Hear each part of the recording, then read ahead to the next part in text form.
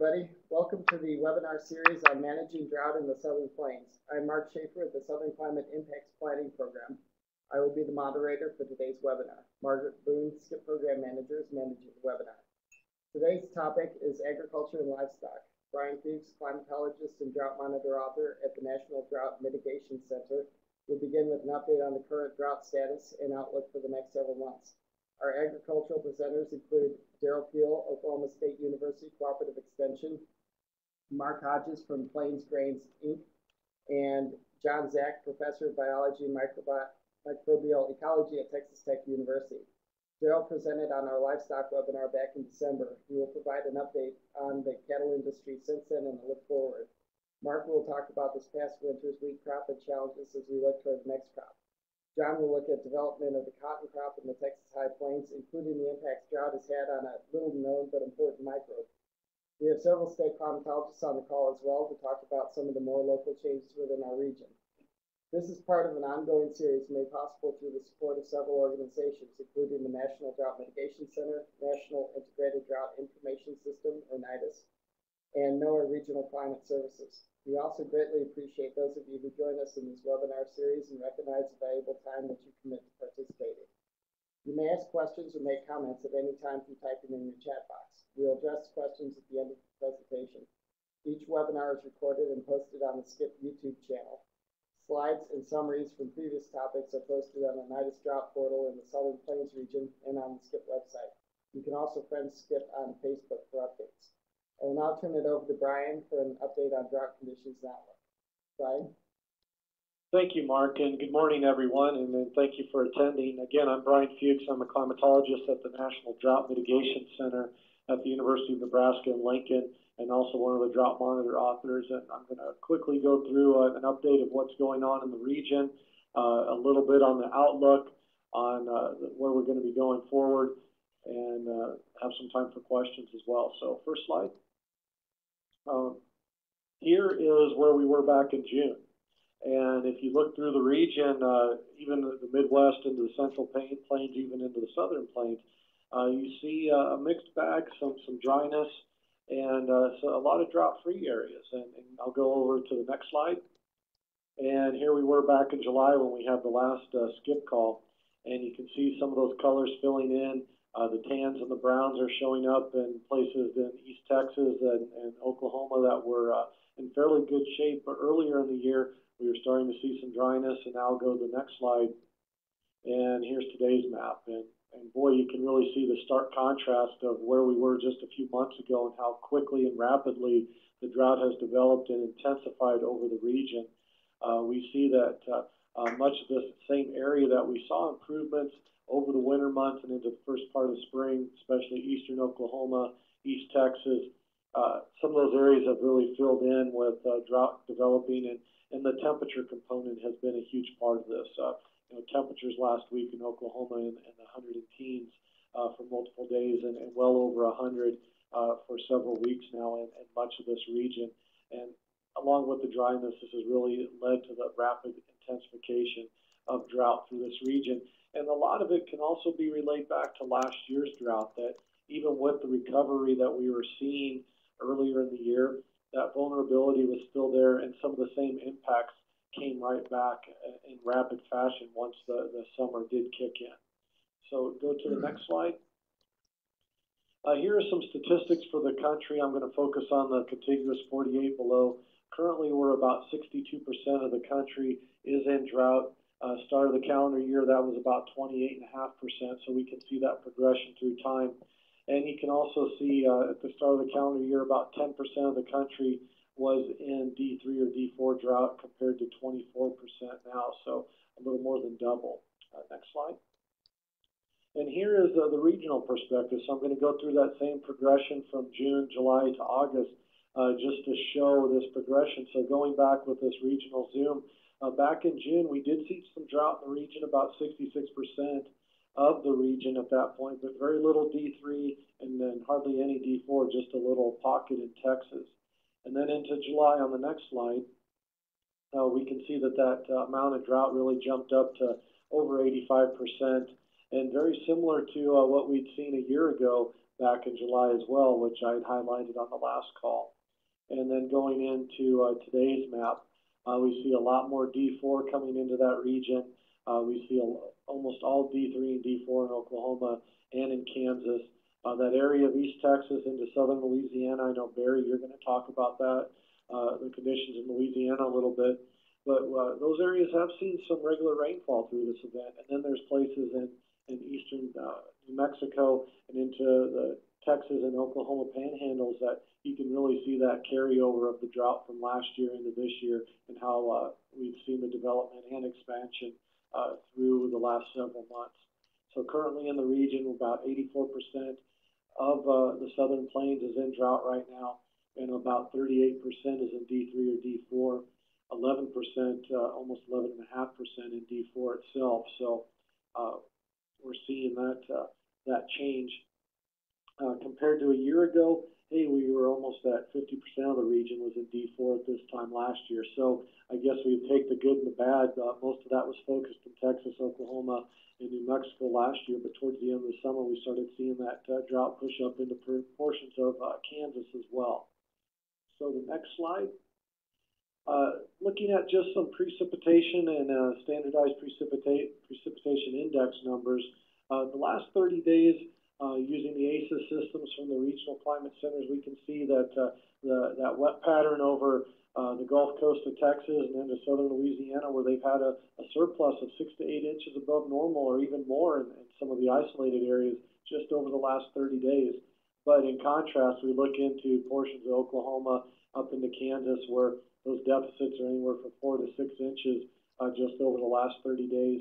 The last 60 days, you see that same pattern. Uh, the haves and have-nots are very obvious, and there seems to be more have-nots with those departures anywhere from uh, four to eight inches below normal just over the last two months. Uh, next slide. Looking at things for year to date, I mentioned that uh, improvement that we'd seen from uh, earlier in the year, and that really shows up well on this year to date uh, departure from normal precipitation map, where we can see anywhere from five to 10 inches above normal commonplace across uh, portions of East Texas into Louisiana. But you look at the contrast as well, that just for the calendar year, we can see deficits of 10 inches or more in many places in New Mexico and Texas, Oklahoma, up into Kansas. Arkansas stands out, southern Missouri.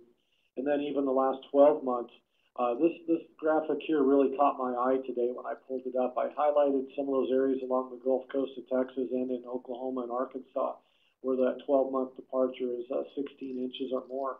But look at uh, uh, north central Arkansas. Uh, we see a surplus at the last 12 months of anywhere from four to eight inches during that time frame. And uh, the, the stark contrast is just how dry it has been over the last six months or so in that region. Uh, they're, they're in D4 drought right now.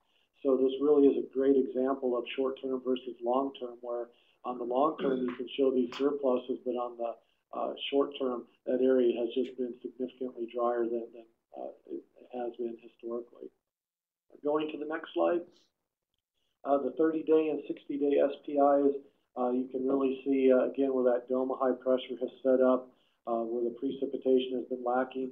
And then you look on the fringe of that area, you can really see that ring of fire, that dome of precipitation as it circulates around that high.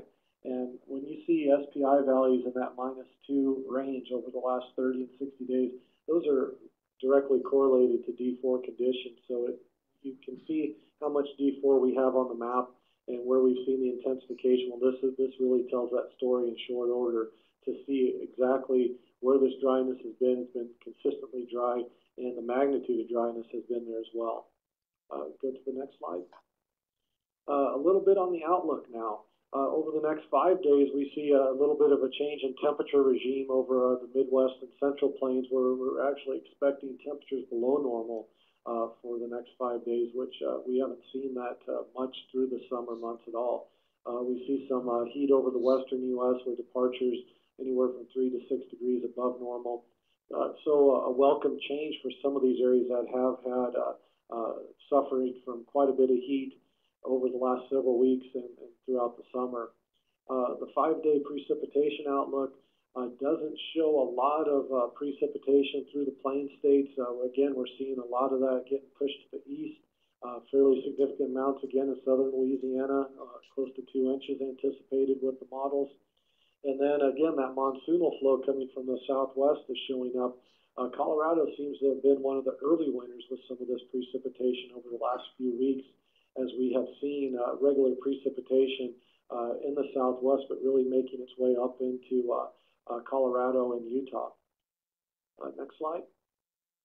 The 14-day outlook, it shows the heat that we were seeing over the, the western U.S. kind of pushing over to the east during that time, and then some below normal temperatures are anticipated over the Pacific Northwest and Northern Rockies. And in that same area, if you look at the precipitation outlook, some uh, wet, wetter uh, regions or uh, in, the outlook, some wetter models output is being shown through the northern plains into the Great Lakes. Again, that moisture plume in the southwest associated with the monsoon, and then it stays wet along that Gulf Coast. So maybe this is a, an early El Nino signal that's uh, uh, showing up even before we have uh, a true El Nino being on the books. We see a, a dry signal through uh, the southern plains into the central plains with uh, below normal precipitation anticipated all the way from Texas up into uh, portions of Nebraska. Next slide. Uh, here's the seasonal outlook. This came out uh, a little over a week ago now from the Climate Prediction Center. In August, uh, boy, have we seen this pattern all summer. It looks warm and dry. Uh, looking over the, the region, we see the greatest uh, uh, temperatures anticipated over the Nebraska, Missouri, Kansas, Iowa region, but uh, uh, seeing above normal temperatures through much of the country, continuing a pattern that we've seen over the last year. Uh, for precipitation in August, we see dryness associated with that as well, all the way from uh, Nebraska to Indiana down into Texas. Uh, and that monsoonal uh, plume of moisture still is showing up for the month of August. Hopefully, it really does kick in here in earnest and, and bring some relief to the southwest. And again, maybe some of that moisture will uh, trickle into portions of the plain states and maybe help break down uh, this, this long wave pattern that has been consistent with the drought that we've seen. Uh, the seasonal outlook, uh, um, August through October, does not change much. We're seeing warm conditions uh, pretty much through much of the country outside of uh, the west coast and the Pacific Northwest and the northern plains. And then that dry signal continues right over the Midwest, over Iowa, Illinois.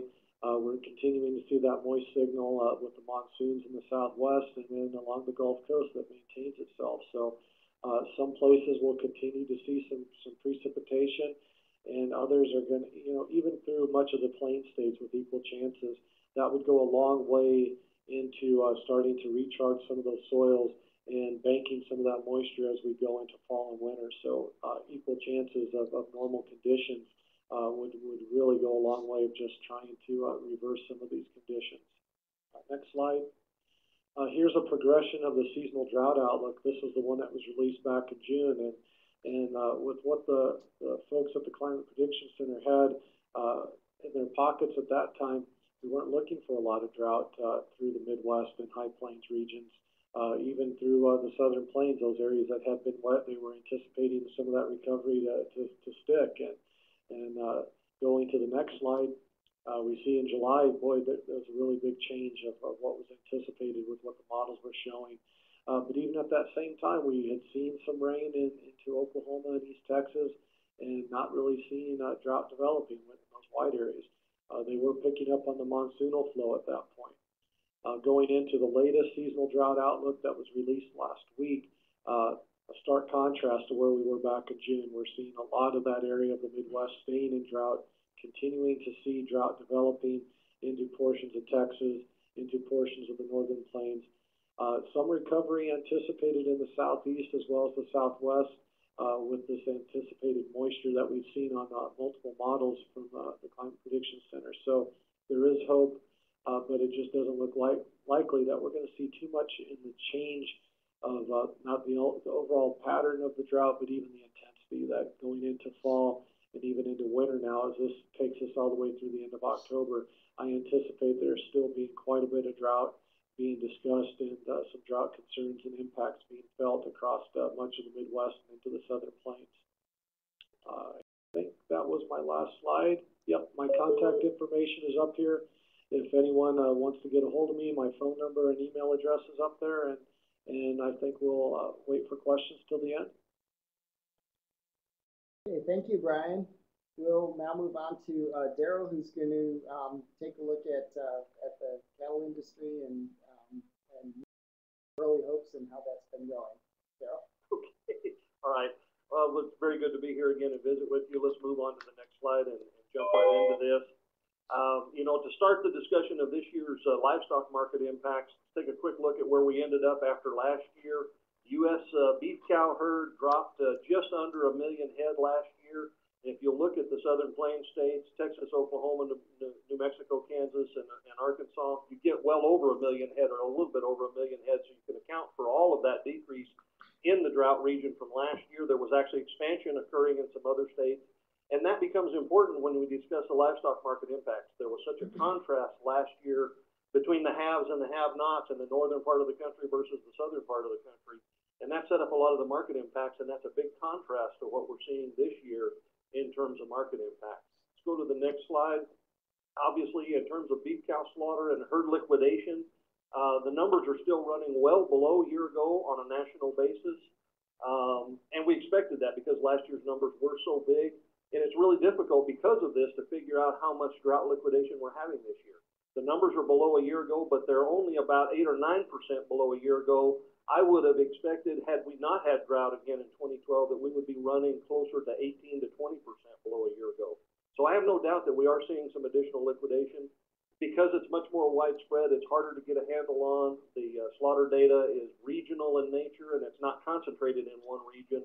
Uh, so it's a little more difficult to sort of peg exactly what's happening where, but clearly we are in, in additional herd liquidation mode, more so in other regions than in, than in Oklahoma and Texas and the southern plains generally, in large part because we have not rebuilt, uh, significantly at all from last year's depletion. So we didn't have as many cows. We didn't have as many, uh, any places that were as vulnerable to getting into marginal forage conditions as quickly this summer, although we're getting there very quickly now. Uh, and so in the last four weeks, since the Fourth of July through last week, uh, in Oklahoma, the auction receipts for cow slaughter, uh, or for cows coming through the auctions, many of, many of whom are going to slaughter, those auction receipt totals for cows were down seventy-seven percent from a year ago. So obviously, we were in massive liquidation mode last year. We're not seeing as much of it yet in the southern plains, although I have no doubt that, that we are doing some liquidation. But I suspect there's, there's more herd liquidation occurring in other regions this year compared to the southern plains, simply because we did so much last year. Next slide.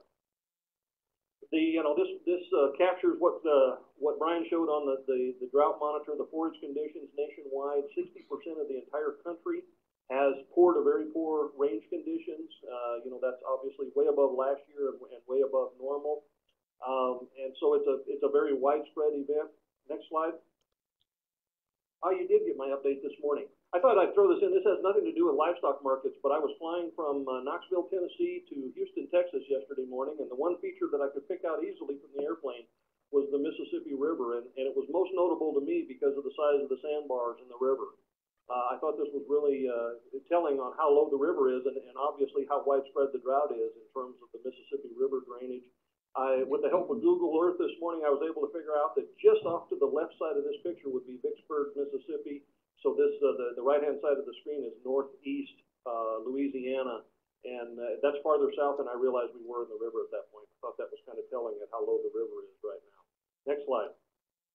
In terms of the southern plains specifically, as far as forage conditions, uh, you know, last year at this time, over ninety percent of the region was in poor to very poor conditions. We're at about sixty percent, which is roughly equal to the national average right now, but you can see how quickly it has advanced. As Brian alluded to, in the last, uh, four or five weeks, it has jumped very dramatically. Uh, that was also very visible in the air flying into Oklahoma City yesterday morning. Next slide. The other half of this story this year that's very different than last year is the corn crop, and, and it doesn't affect what's happening in this region, but from a livestock perspective, obviously the drought in the, in the Midwest and other parts of the country. Uh, this shows corn production for the last twenty-five years or so. The second to the right-hand bar is the twenty twelve crop, and the, the dark blue part is, uh, this week's estimate, and I say that because it changes very dramatically, but from the Livestock Marketing Information Center, currently estimating a, uh, a, a little bit over a ten billion bushel corn crop. But I put in here the light blue shaded part on the top of that. is, uh, is relative to what USDA came out in May with their first official estimate of the, uh, the new corn crop was at, uh, you know, almost fourteen point eight billion bushels, so that means we're running about four point four billion bushels or close to that. Uh, in just about ninety days' time, we've dropped our estimates for the crop production that much. Obviously, that's a huge factor for livestock markers, markets and, and, and uh, any other users of corn. Go to the next slide. Um, we have changed our, you know, price expectations. Again, these things are very dynamic, changing almost daily, uh, or minute by minute in some cases. But we're now expecting a twenty twelve, you know, annual average crop year price that's gonna be pushing eight dollars a bushel. Uh, obviously, that has enormous impacts on cattle markets. And so that sets up the next couple slides to talk about where we really are then on, on cattle markets. Let's go to the next slide. If you look at the heavier weight feeder cattle, you'll see that we have dropped pretty dramatically in the last five or six weeks or eight weeks. Uh, much of the, you know, these, these are the cattle that, that are going into feedlots. They're facing those high feed prices. Uh, and so really the impact on these feeder markets you would attribute largely to the change in the corn market and the corn price expectations for, for the next crop year. Uh, and so it's having that dramatic impact. I guess the, the positive side of this is we're at, at the same levels we were last year. We haven't uh, dropped below year ago levels. We still have a fundamentally uh, supply driven, tight, tight uh, inventory kind of a cattle market. But obviously, these short term drought impacts are very dramatic, and, and, we've had just a dramatic turnaround in feedlot expectations for, uh, for feeding cattle for the next 12 to 15 months. And so it has that impact on these feeder markets. Next slide. On the calf market, it's been even more dramatic because those calves are a little ways down the road from entering the feedlot, but all of those expectations for high feed prices eventually plays into uh, the calf prices. Plus, you add in the current uh, impacts on forage conditions around the country, and we are seeing, at least anecdotally, it, uh, more so than in the data per se, but we're, we're clearly seeing some early marketing of calves in other parts of the country, not so much in the southern plains proper but there are folks in, in other parts of the country selling cattle early, auction volumes that are reported much larger than average in other parts of the country, much like ours were last year. And so the combined effect of poor forage conditions and high grain prices is reflected in these calf prices. Again, we're slightly above year ago levels still, but we've seen a dramatic drop in these markets. The good news is cattle markets and the beef market, uh, from a demand standpoint, all seem to sort of uh, appear to be near a bottom right now. I think we've probably done the majority of the damage to these markets at this point. They'll stabilize and begin some level of recovery, but because the drought conditions are very uncertain at this point, how fast and how much that recovery will be is very much up in the air at this point. Um, you know, in the southern plains and given the tight supply of cattle, uh, should we see fall moisture where we have prospects for wheat pasture, where we have prospects for some cool season forages, the fescues and so on, uh, because numbers are limited and because we have again for the second year marketed cattle, uh, you know, well ahead of schedule instead of the normal fall weaned calf run, uh, we moved these cattle early. Uh, we could actually see uh, pretty dramatic turnaround in this market in the next uh, six weeks or so, but it's obviously going to depend on some improvement in forage conditions, not only in the southern plains but generally in the country. So uh, the potential is still there, but we have seen more. And the other thing I would say is that this year's uh, market impacts have probably been more typical, more what we would expect to see in a drought of this magnitude compared to what happened a year ago. Uh, we didn't see the markets drop nearly as much last year, given the magnitude of the drought, but it was because for the regions that were affected here in the southern plains, there was lots of alternative places to go and lots of alternative feeds available in other parts of the country.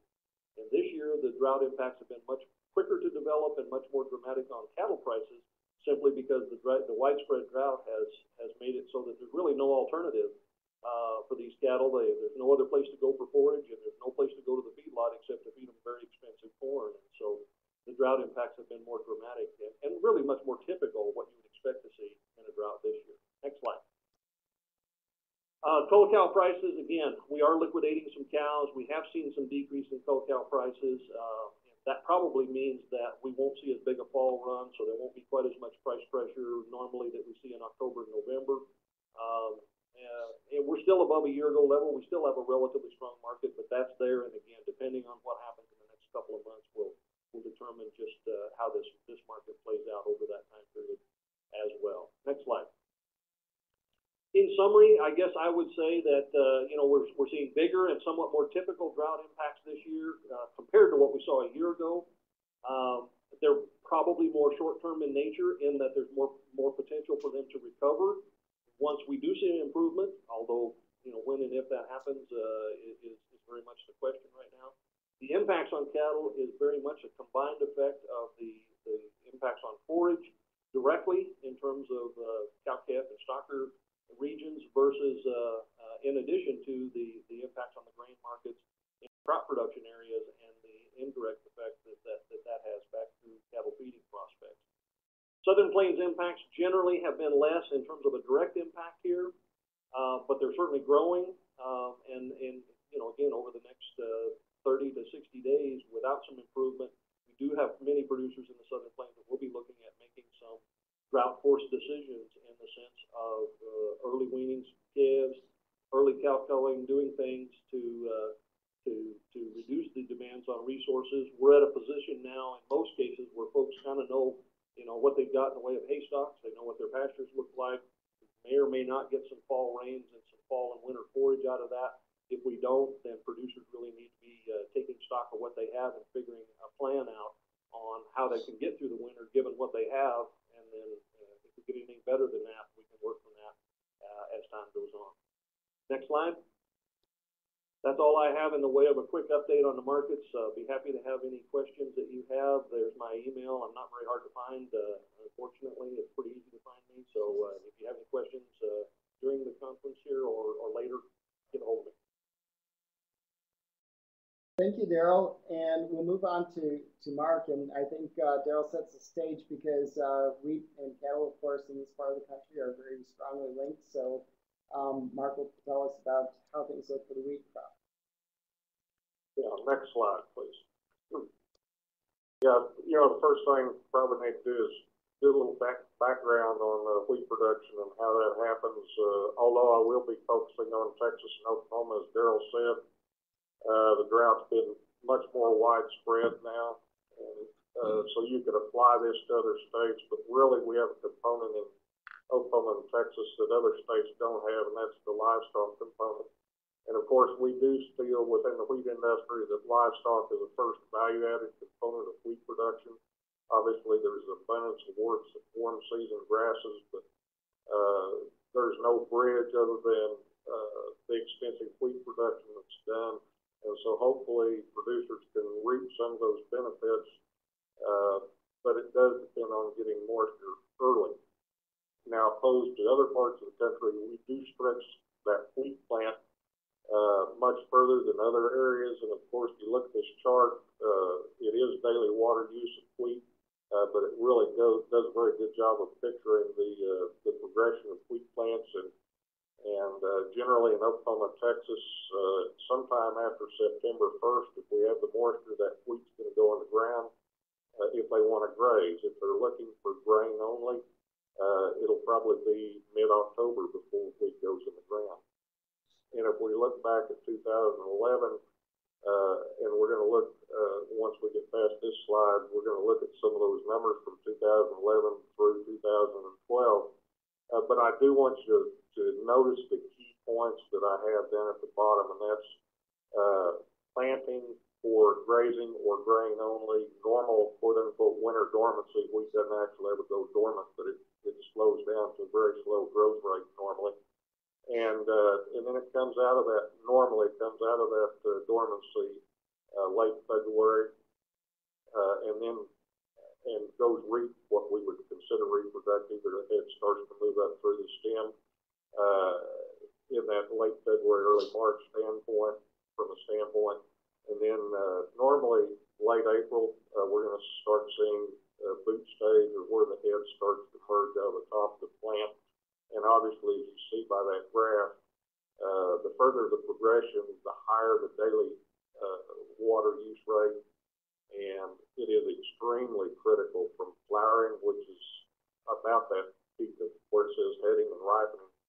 Uh, right about that peak is where the, the flowering, well, it's denoted on the graph where flowering takes place. And from that point, which is usually late April into to, uh, May, uh, any extremes, whether it be heat or cold, uh, will dramatically affect what the final yield is. So that using that as a background, next slide. Uh, I really want to focus down on the bottom of this chart. Uh, this is from Altus, which is in southwestern Oklahoma, and of course, none of you on this call need to be told how uh, dramatic the uh, drought was in 2011, and of course, you look across that bottom row, and see those numbers, but then you also understand, again, normally planting wheat in, in September, if we want grazing into uh, October, if we want grain only, uh, roughly seventy percent of the producers of Oklahoma and uh, Texas had crop insurance. And to get the best return on that, they had to put the grain in the ground. So there were a lot of producers that planted into that dry soil, uh, September, uh, into October, before there was ever any moisture there, traditionally known as dusting in. And very untraditionally, again, if you look at the numbers and, and know anyway that that October, late October into November and December is normally a very dry time, starting into a very dry time for, for, uh, Texas and Oklahoma. We got that air, uncharacteristic moisture in October, uh, got the plants up and started, uh, got a very good start. Uh, and then you can see what happened, uh, and of course, obviously, January, February are normally fairly dry months for us anyway. We did get some pretty good moisture in March, uh, down in that Altus area. Uh, and then, uh, relatively speaking, it was fairly dry for April and May. Uh, and then we started getting moisture again in June, but by that time, the, the wheat was already development slide. Now, this is Lahoma, which, uh, translates into Enid or north, north central Oklahoma. Again, the same pattern when you look at two thousand eleven, wasn't quite as severe as it was at Altus, but, uh, definitely a lot more restrictive than, uh, normal rainfall. And of course, you look at October, November, they were, and even into December, they got more moisture than, than what we would normally see during those months. Uh, and the plants could go ahead and develop, uh, got a good root system under them, uh, got a lot of stems of tillers, uh, developed. Uh, and actually, we were able to get grazing from that wheat that actually never germ- germinated until, uh, late October into November. We got some grazing off that that normally we wouldn't see if it didn't germinate until that late. Uh, next slide. Uh, in April, and again, this is Lahoma, so it'd be that Enid area. Uh, again, what I want you to notice is the left-hand side, maximum daily temperatures, uh, for April, uh, which weren't that extreme. Uh, but we did have a few upper eighties and lower nineties, and when wheat is in the stage of growth that it's in in April, and again, rem- remembering, uh, that chart, uh, where we, we start into the, the uh, boot, the heading stage at that point. Uh, we really want, for maximum production, we want temperatures below eighty-five degrees, uh, sufficient sunshine, and, uh, a soil profile with moisture, at least to get timely moisture for that plant to, to produce maximum grain. Uh, so Anyway, the highest temperature you see down at the bottom left was, uh, ninety-one, uh, then there were two days over ninety degrees, next slide.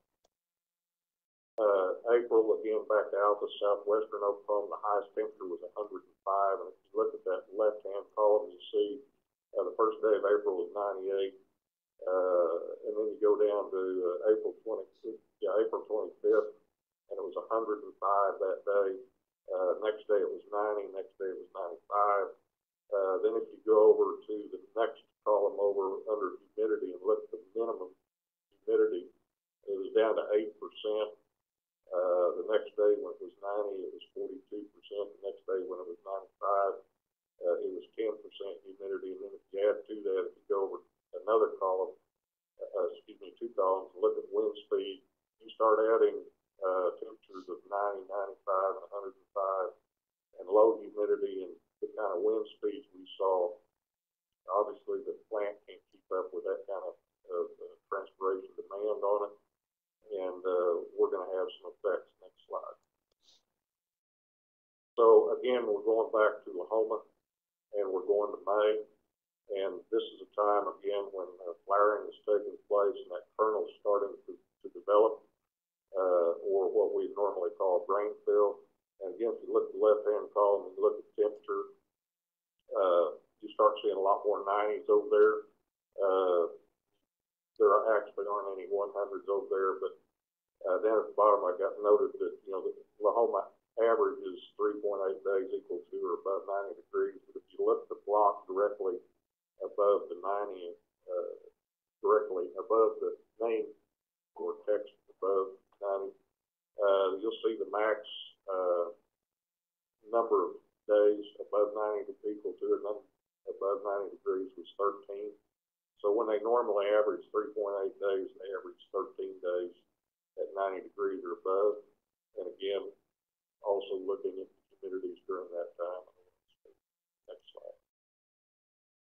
Uh, same was true for Altus. Altus averages, uh, nine point eight days equal to or above ninety degrees in May, and they had eighteen, so they had twice as many days. But if you look at that left-hand column, it wasn't just a little bit over ninety, it was a hundred, you see hundred and ones up there, hundred and six, uh, several one hundreds down towards the bottom, and again, if you look at the relative humidities when that happened, the day it was hundred and six, the minimum humidity was down to six.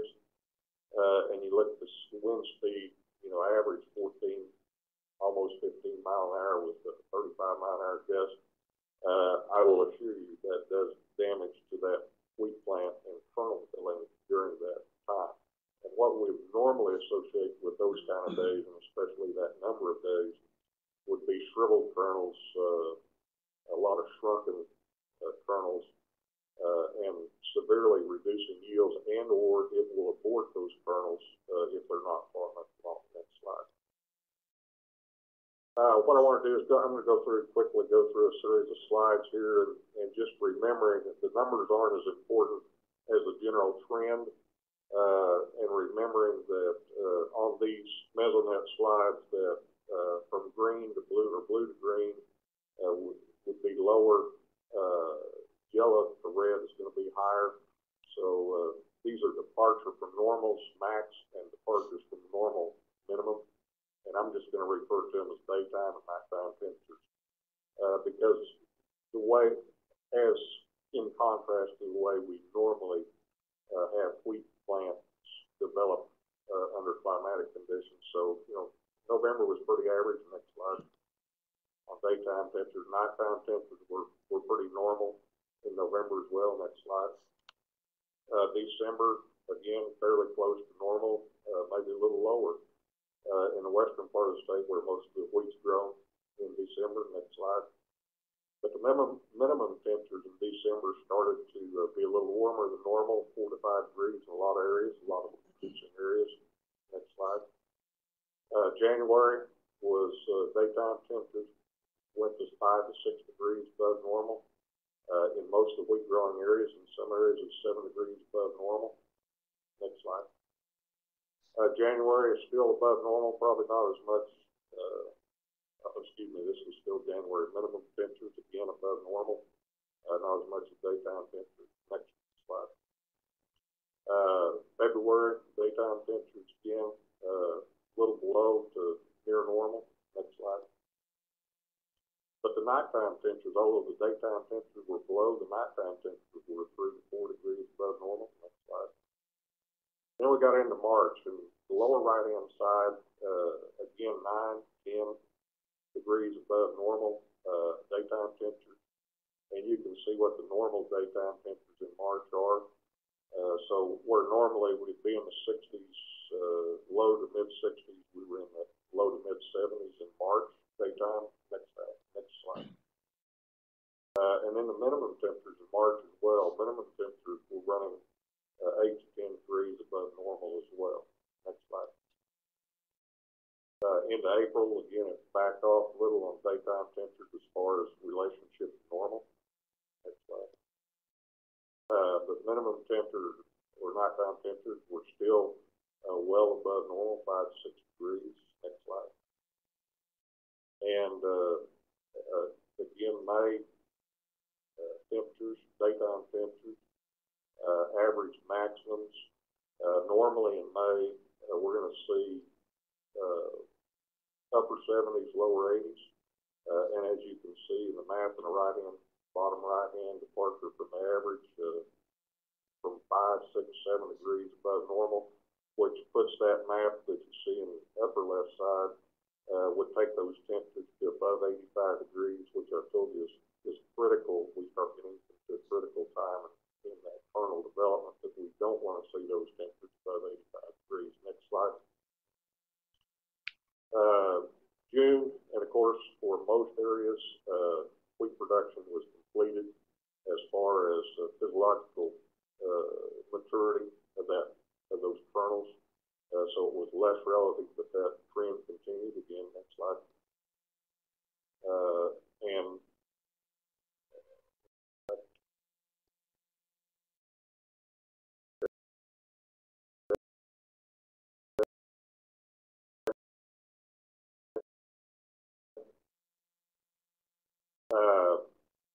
relative humidities were, uh, in March were, uh, uh, higher than normal. Next slide. Uh, April, higher than normal. Next slide. But in May, it took a dramatic swing back the other way, and relative humidities were well, below normal, and again, going back to that graph and, and water use by the wheat plant, it's pretty obvious that those plants came under stress at one of the most critical times of its development. Next slide. Uh, and again, that continued, trend continued into June. Next slide. Uh, general rainfall amounts in April, uh, excuse me, in November. Uh, again, we had good moisture to get those, uh, wheat plants up and develop, form a good root system and, uh, good tiller development or, or what ended up being total number heads. But again, you can see it was, it was still pretty spotty even then. Next slide. Uh, nor, again, normally you don't get a lot of rain in December. Uh, even those areas that, uh, are light green, uh, that's a significant amount of, amount of moisture more than what they would normally get, uh, in December as well. Next slide. Uh, start papering off in January. Next slide. Uh, again, still spotty, uh, but they were the haves and have-nots, which has already been mentioned earlier. Next slide. In March, uh, the moisture again picked up in the southeastern part of the state, south central part of the state, but really not in the major wheat producing areas, which is the uh, western half of the state. Next slide. Uh, April picked up as well, but again, there were the have and have-nots and, and, uh, it was still somewhat spotty. Next slide. But it really dropped in May. And again, we're talking about a critical time in that wheat plant's development when, uh, it, it can't stand a lot of stress if we want a maximum production. Uh, and also knowing that that soil profile was completely deplete- depleted in two thousand eleven, so we really needed, uh, the timely moistures to make it, the timely moisture to make it a, a complete crop. Next slide. So, uh, whenever, uh, these plants developed under the conditions that they developed under, uh, we would normally expect to see several things, and- one of those obviously would be, uh, uh, lower production than normal, uh, based on the conditions we started with and the conditions that, that we finished out the plant with. But, you know, give you an idea of, of how important the timeliness is, uh, we actually ended up with a crop that was about hundred and forty percent above the normal crop or the normal five-year average crop. Uh, again, that's a testament to the, the benefit of the moisture early when we got good root system development, good tiller development.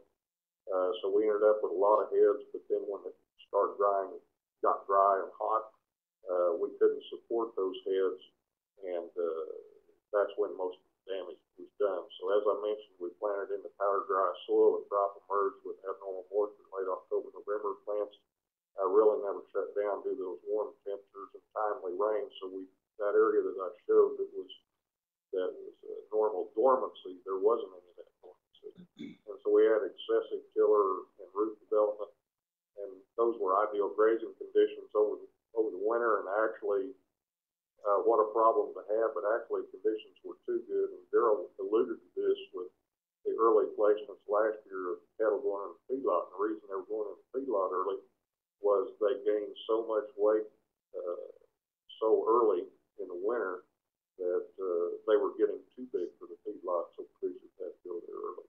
Timely moisture continued throughout the winter, and the key here being timely moisture, it wasn't, excessive by any stretch of the imagination, so we still didn't get any recharge. Uh, but again, like I said, it wasn't, those from the drought losses of two thousand eleven next, next. uh, Uh, those moisture deficits really began in March, again, the haves and have-nots remain until harvest, next slide. The hot weather, as we looked at in March, April, May, uh, made the situation worse, most plants had more tillers or actually heads at, at some point that they could support. The kernels started to shrivel and abort in May, uh, due to dry conditions, and I mentioned we still produced a, a crop that was a hundred, hundred and forty, in Oklahoma, hundred and forty percent, uh, over normal, but what was the potential of that crop? And we lost a lot of potential. Results were, uh, less than desired, thousand, TKWs or thousand kernel weights, and literally as it was, it would imply, uh, weighing of a thousand kernels. And, uh, millers use that as an indicator of what kind of meal yield they can get out of the, the kernels or the wheat that they buy. And, uh, obviously they want higher thousand kernel weights, and we, we ended up this year with, with, uh, compared to the five-year average especially, a lot lower thousand kernel weights. And highly variable proteins in many areas, and, uh, uh, generally it was high, Texas, Oklahoma averaged twelve and a half percent, which is, is good protein. Uh, and we would expect to average around twelve percent, and it would indicate to the, to the baker the end user that uh, twelve and a half percent protein, you could make a really good end product. But if you take, uh, eleven percent protein and thirteen percent protein and average it out as a twelve, or you take nine percent protein and fourteen percent protein and average it out as a twelve, you come up with two totally different products. Uh, and that's actually part of the challenge we faced this year because within a elevator location or delivery point location of, uh, wheat,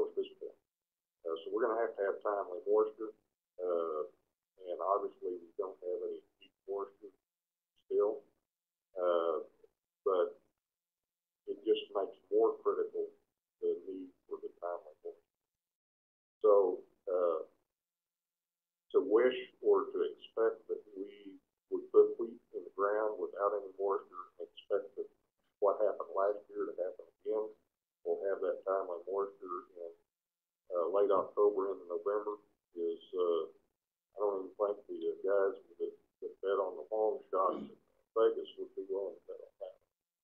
So it's very critical that we do receive moisture uh, sometime in the next, uh, two months for sure.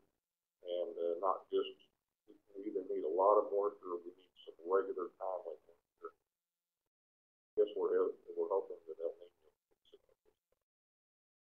So I'm gonna quit, I think that's my last slide. Thank you, Mark, and I think that's quite telling when, um, when farmers are, uh, starting to lose their optimism, uh, the most optimistic group you'll ever find. But, um, hopefully we'll get that El Nino to, to kick in and, and, uh, and bring it back like we did last year and maybe a little cooler in the, the two times of the year there.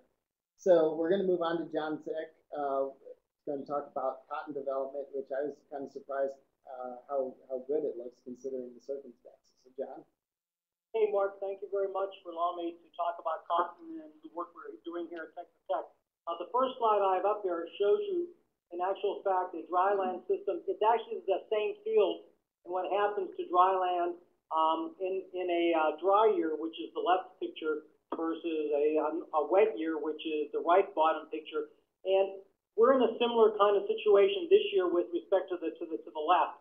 Um, one of the things a lot of people may not know is that within about 150 mile radius of uh, Lubbock, Texas, we grow about 60% of the U.S. cotton crop.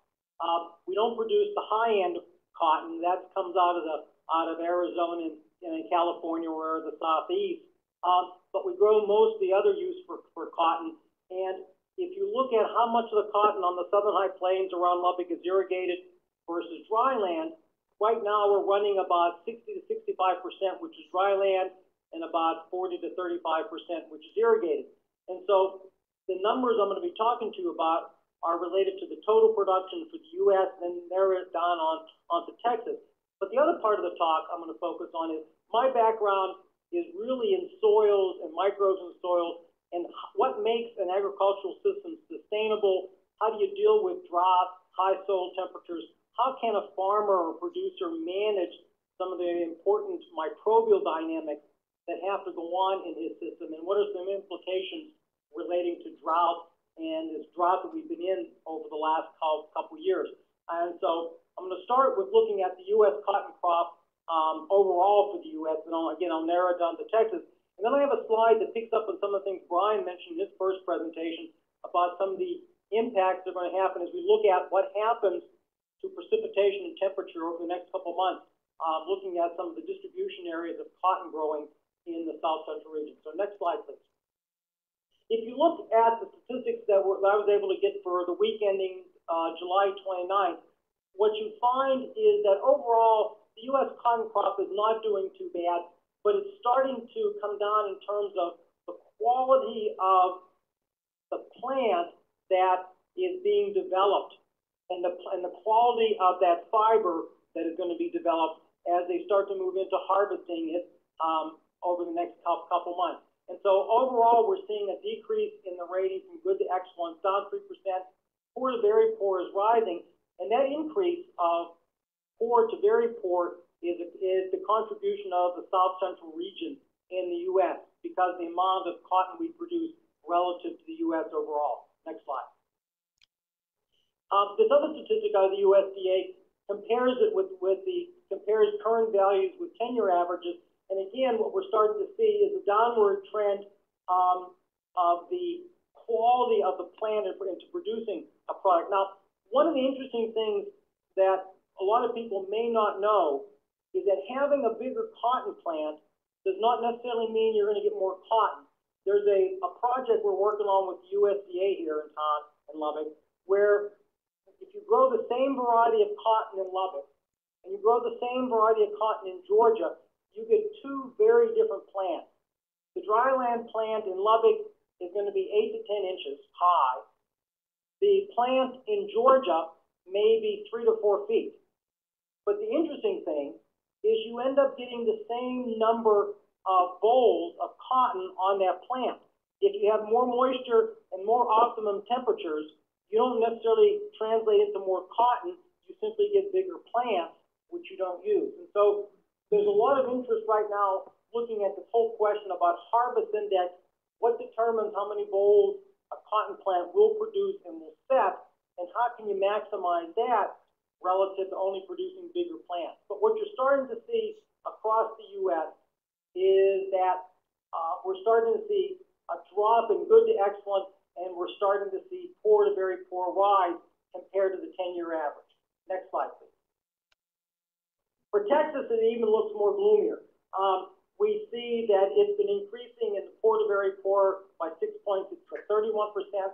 Um, the excellence dropped to 34%. And if you look around um, the high plains of, of Texas, some of the cotton, because of the lack of moisture in, in, the, in the last month or so, has already cut off.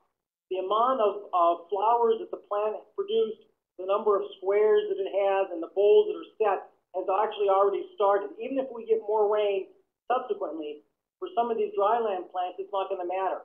The plant has done all that it can uh, for this given year. On an average year, because of hail and wind and, and the spotty nature of rainfall in the region, you, the long-term average is to lose 18 to 20 percent of the crop. Now, last year in 2011, almost 60 percent of the regional crop was lost. Um, High Plains cotton growers are looking at going to be exceeding that this year. Even if you if you drive just around the, the Lubbock area within about 20 miles, you'll see some fields that have plants that are six inches high with one boll on them.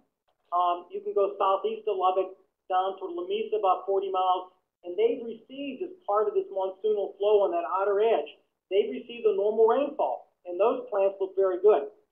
One of the major differences this year compared to last year is we have not had the wind that was mentioned from the previous speaker, and we also have not had the continuously high temperatures. Now, we've had temperatures um, that are high, but we have not to the extent that we've had as in, as in 2011. So this year is a little bit different. We still don't have the same, we still have low moisture, but we don't have high soil temperatures. Our evening temperatures are not as high, and the extended period of high temperatures is low. What we're lacking is moisture. Next slide. What this graph shows is the uh, location of the cotton producing areas in the, in, the region and the higher, the darker the green, the more cotton is, is produced. And if you think back to what Brian talked about earlier, you can see that the larger green areas along the coast, the coastal cotton, and in the southern high plains, that's where most of the cotton is grown. That's the area that's going to receive the, that's in, in more extreme drought, the greatest departure in terms of rainfall, and the greater increase in uh, temperatures. That's also true of the Arkansas area. So overall, it does not look very good for either uh, the cotton production systems that are currently being watered or even in dry land and what is on tap for next year because again, as other speakers have said, the farmers going into next year have to have a certain amount of soil moisture to, to get that crop up if they don't irrigate. And I'll show you some other data um, that's going to indicate that we're probably not going to end up any better than last year. Next slide. So what we can see is that when we started out the year, this is the top part of that graphic from the USDA crop progress report. In 2012, we started out pretty much comparable to what we had in our banner year, which was 2010. That has produced that that year produced the most cotton on record. And we started out very good, and, and then if you look at the bottom, what you see is that going into April, the farmers in, in Texas actually planted more cotton this year than they had in previous years. And the crop into June was doing fairly well. You move into planted into squaring means now that the, it started to bloom, you have um, now fruit starting to develop, and you can see that going into late June, early July, squaring was ahead of where it's been obviously from last year, and even in the period 2007 2011. Where we start to have problems now is in the next part of that graphic, and that's setting of the bolls. And while we were ahead a little bit in July, what you start to find is that we are now below what happened in 2011. So what this means is that that crucial period for when the plants now keep the fruits that are pollinated, they are starting to abort those fruits.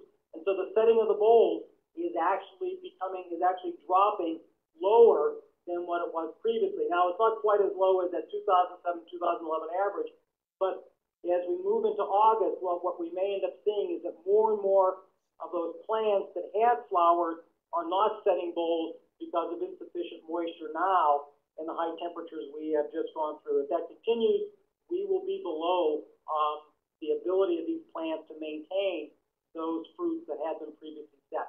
And we won't know anything about how much is actually harvestable until we get into late August, early September. Now, as I said earlier, the other part of what I do is on soil sustainability and how a farmer can manage what the microbial component of the soils are like in order to help mitigate some of the problems they have with respect to moisture and uh, temperature. Now, I have to say, if, if you get no rain and it's dry, it, it doesn't matter what microbes you have in there. They're not going to be able to do anything beyond a certain point. They are like insurance. They can, they can, they can help a crop deal with certain stresses up to a point, but beyond that, they're not going to have any, any advantage for that given year.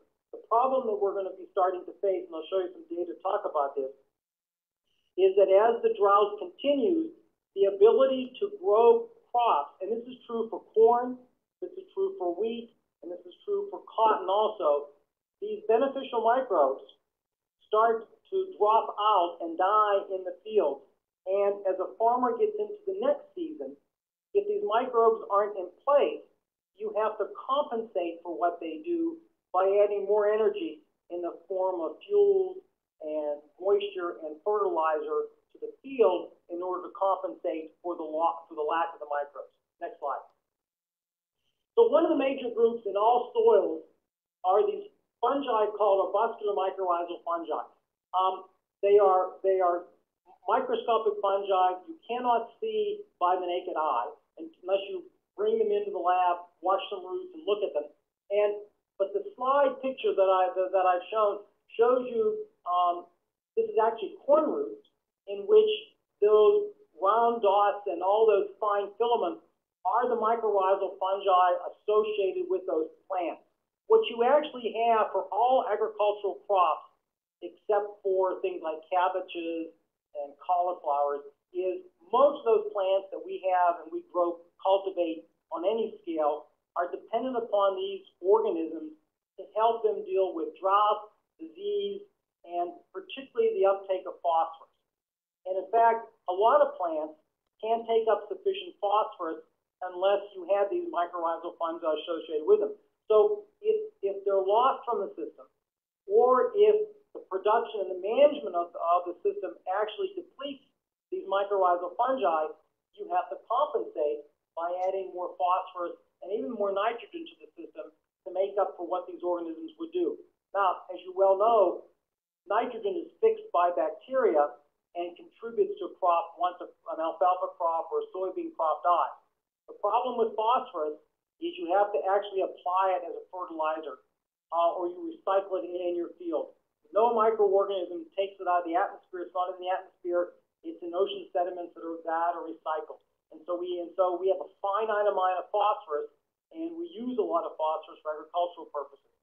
The, the goal of a lot of the stuff that we do, research we do with the USDA, is to, is to design management strategies that help protect the ability of agricultural systems to maintain the level of phosphorus and recycle it more efficiently.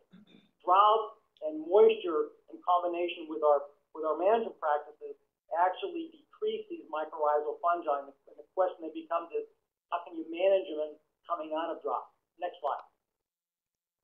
So we set up a series of we have been setting up a series of studies with the USDA to look at various kind of management systems. Cotton, as you know, is a very hard crop on soil because of its lack of root there's not a lot of roots. There's not a lot of carbon goes back into the soil. There's not a lot of priming of the soil microbial community from the plant itself. Those of you who grow cotton and wheat or corn and wheat, you have a good crop. Those plants, because they're grasses, contribute a lot to the sustainability of that system. You grow cotton, there's not a lot of root, not a lot of organic matter goes back in, and you can actually start to then deplete the soil microbial community very significantly. But what we were looking at is what happens with various kinds of production systems around the Lubbock region.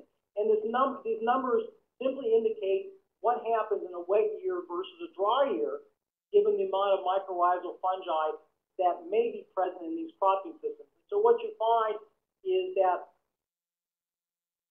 if continuous cotton that's irrigated tends to be the worst because of the fact that you have this water going on continuously, it's continuous cotton. The best scenario is either dry land, and that has to do with the amount of, of the size of the plant and what it takes up, or if it's irrigated and rotated. Normally, they would rotate um, sorghum or soybeans through a cotton field here.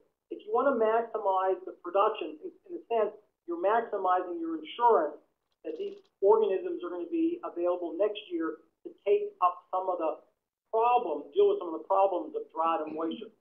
For most cotton, cotton plants, these mycorrhizal fungi benefit during the first eight weeks of growth. If you can get them up to that point, you have a good opportunity to get your stand established. Now, what happens later is out of their control. That's more the farmer with respect to irrigation or climate impact.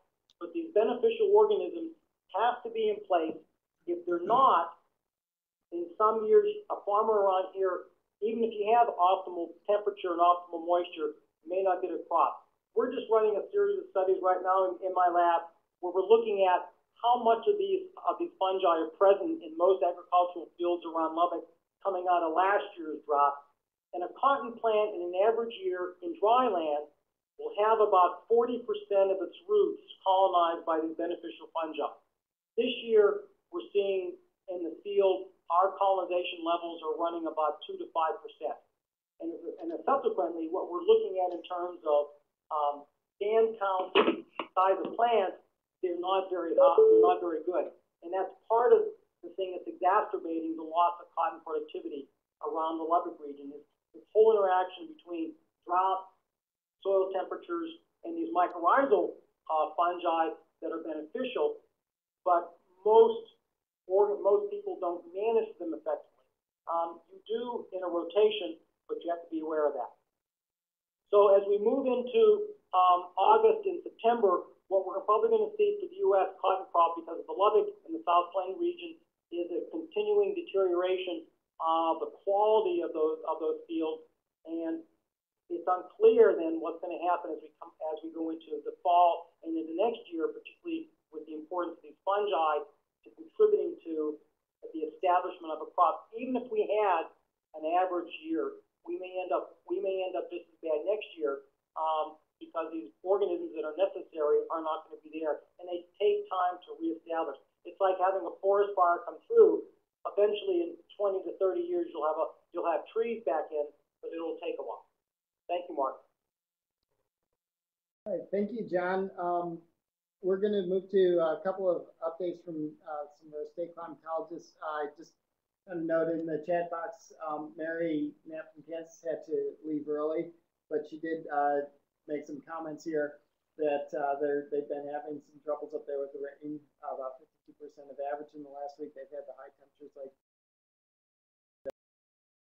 um, and there's some serious problems there with soybeans uh, continuing to work blossoms and, and domestic and livestock. Um, we'll go on, we'll start uh, here with uh, Barry uh, to talk about some of those uh, fringe areas of Louisiana that have been uh, dealing with some drought. Barry? We're only fringe because of the drought here, but, uh, but thanks, Mark. Uh, give, give me the next slide. I only have one slide here to show you guys. And uh, Louisiana is on the edge of this larger core area of drought found across the midsection of the United States, you know, shown by Brian Fuchs earlier. I'm sure you guys know all about it. Uh, so, so, we have a little bit of uh, D1 across the uh, northern parishes, basically the northern third of the state being impacted by the dry conditions. And overall, South Louisiana is actually doing fantastic. In fact, uh, if you look at the 30-day rainfall that's the radar estimated 30-day rainfall on the bottom uh, right there. Uh, it's showing, you know, most of, a lot of those coastal parishes, all those areas that are in pink are between 10 and 15 inches of rainfall. And, uh, you know, the areas in red for the most part, we're looking at, uh, you know, six to eight or even more rain. So the southern half of the state has been excessively wet with, the, with that afternoon convection and um, no issues down there whatsoever. Now, um, ten to fifteen inches may sound like a whole lot of rainfall for South Louisiana, but you also have to realize that six to seven inches is considered normal. So we're running, you know, well above normal, but not tremendously above normal like you might see in some other states where, you know, ten inches would be a, a, really big deal. Uh, but clearly we have a very strong, uh, you know, south to north gradient with high amounts to the south and it, it tapers off pretty dramatically as we get up into the, those northern parishes. So we do have our issues, but, uh, for the most part, uh, you know, the vast majority of the state seems to be doing okay. I'll go ahead and leave it there. Thanks, Barry. Um, we got, next one, Gary, um, Ansel of Oklahoma will, will tell us what's, uh, what's going on. Okay, let's take a look at the next slide. As we get a little bit closer to Oklahoma on the drought monitor, we see now that 97% of Oklahoma is covered by extreme to exceptional drought. That's actually the highest amount ever for the state of Oklahoma with the drought monitor effort. Um, now, of course, we had higher amounts of exceptional drought last year uh, with the drought in the southern plains last year. But as far as extreme to exceptional, this is the highest amount ever. Um, so it's ind- indicative that some parts of the state, most notably the eastern third and the northeastern parts of the state, are probably a little bit worse off this year than they were last year at this time. Whereas western Oklahoma, they've been in near continuous drought for going on close to two years now. So, uh, but again, this is a flash drought situation. So if we take a look at the next slide, um, we can see what's been going on over the last uh, several months. Um, you look at uh, northern uh, Norman, Oklahoma, which is the epicenter of the worst conditions right now, it seems like, has gone 63 days with less, of, less than a quarter inch of rainfall in any single calendar day. Um, and of course, those uh, numbers are spread throughout much of central and, and parts of western and northeastern Oklahoma, as well as the panhandle. Um, next slide. Uh, can see what's going on with uh, western Oklahoma. This is a, a farm pond up in uh, Harper County where I actually go fish at. It's on my best friend's parents' place. This is when the conditions were actually uh, good. This was probably the last time conditions were good in western Oklahoma, May 9th of 2009. I snapped a picture of that pond. That pond is spring fed, so it pretty much goes and with, along with the water table. When the water table's good, um, that pond looks good. It's never been dry in the 35 years I've been going out there. So next slide, this is what it looks like, and this is what it's looked like over the last two years. So this is a good picture of what's been going on in western Oklahoma. Um, farm ponds uh, either diminishing or, or all the way gone. Um, we have fire danger throughout the state. Uh, and of course, all the impacts associated with this uh, extreme to exceptional are present. And those have been uh, intensifying as we've gotten into April and May, and especially as we've entered the summer months, um, which is exactly what you would expect with a flash drought situation. Thank you, Gary. Um, before wrapping up, I, I don't see any other questions, but I did have a, a couple of things that came up here. Uh, John, I'd like to ask, uh, you, you mentioned that it may take a, a long time to reestablish fields and like say after a forest fire it could take 20, 30 years. Um, what kind of time horizon, if you got good uh, moisture and, and good conditions, uh, do you think it take? How many years or so do you think it take to reestablish uh, the, the fungi? Um, based on some of the uh, preliminary work that we've done over the last couple of years, it may take another decade. Uh, and part of it has to do with the with the um, uh, kind of crop they're going to plant. If, if farmers in the region only plant cotton, it may take it may take 50 years. Part of the difficulty with it too is these fungi um, come in um, from other places, and so the question then becomes is what are what are the sources of inoculum? In if you were in Florida or if you were if, if well particularly if you were on the Gulf Coast and you were doing more truck farms, you could add it. You can actually go buy an inoculum of these fungi from producers, and they put it and they put it in their bed. Um, if you're growing small row crops, if you're if, but if you're doing the acreage that they would do for corn or for cotton or for wheat, you simply can't afford the inoculum to inoculate to re-inoculate your field. And like most organisms, you're initially going to get those fungi that are not necessarily beneficial. In the same way, there are weedy plants, there are weedy fungi, and it's the it's the more beneficial ones take time to reestablish. And so, one of the things that we're also looking at here in, in West Texas is one of the important inoculum sources of these fungi are the CRP lands that are around the region. And so by those CRP lands actually become hotspots or focal spots with beneficial organisms that then will move by natural processes into your fields, but they're going to take time to do that. Thanks, John. Um, and, uh, and Derrell, uh, you, uh, talked about the restocking or, or putting, um, cattle on the field, fields last year. I was wondering, um, if we did get good rains, uh, El Nino hopefully, uh, coming in, um, are the pastures gonna be in good enough shape to take on the additional cattle that, that we could get? Well, I think it depends on which type of pastures we're talking about. Uh, improved pastures generally can recover much faster than the native pastures.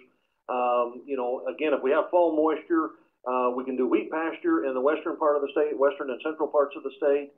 Uh, and, and we would have, uh, fescue and, uh, would be the primary cool season forage available in the eastern part of the state. And, and it probably would come back re- reasonably well, although it depends in part on how it's been managed through the drought up to that point. Um, so you could see that, uh, that there. In a longer term sense, um, the, the recovery of pastures, you know, we really don't have a very good sense yet of how long it's going to be to recover. We know last year's drought caused significant loss of, of stands, particularly in the western part of the state in some of the native pastures and in, and in some of the pastures like the old world blue stems. Um, but because we've had such a limited summer this year, it's really difficult to evaluate that. But in those cases, again, we're talking about multiple years for those to recover with good management, and obviously producers are going to be under a lot of stress to restock those pastures probably sooner than they really need to be. So it's going to be a long-term effort on those pastures as well. And, um, Mark, uh, for, from uh, conversations maybe you've been having, uh, you know, the, the planting in September is usually, you know, trying to get the, uh, the cattle versus, versus waiting. And, um, do you have a sense of which direction, uh, farmers may be going this year, whether they're, they're maybe gonna hold off and, and hope for, uh, better rain by October so they can get a crop, or whether they're gonna try to dust in and hope that they can get the emergence for cattle? Uh, my bet is they're gonna dust in, but it won't be related to forage production, it'll be related to insurance programs, because just like last year, uh, the benefits of planting versus prevented planting on an insurance program, uh, they're better off if they put the seed in the soil and it doesn't come up than if they try to wait for rain and, and then if they don't get one, they have to claim, uh, prevented planting. So, uh, it's more insurance driven than anything else at this. But, but wheat, unlike, uh, livestock, uh, you know, if we start getting moisture again in a timely manner, I think we could, we saw what could happen last year, you know, hundred, hundred and forty percent of a normal crop with very limited moisture. But the livestock guys have got a lot, you know, as Derrell outlined, they've got a lot further to go to, to recover. But if we start getting rain, we're back in business. Well, there, there, there's that optimism that we expect to find with, uh, with you guys, so. Um, okay, well, I'd like to, to thank, uh, Brian, Derrell, Mark, and, and John for the presentations, and for, uh, Barry, uh, Gary and Mary for the updates, uh, on our region as well. Uh, our, um, I'd just like to mention our next, uh, webinar will be September thirteenth, um, and we'll also do a short briefing on August twenty-third, the, the fourth Thursday of the month. We've gone to a short, uh, just kind of status and outlook part of the briefings, and then we'll do a focus topic. Uh, watch our YouTube site for periodic updates as the drought continues to evolve rapidly. We've been posting some, uh, direct YouTube, uh, videos, I guess, about five minute briefings, um, more frequent basis because things are changing so quickly. Always, we encourage you to continue to spread the word and make sure that all those dealing with aspects of this drought are part of this larger community and they can access the support they need. Uh, thank you for your time today, and we look forward to continuing this conversation with you in the future. Have a great week, and hopefully we'll see some rain and some cooler temperatures around here. Thank you.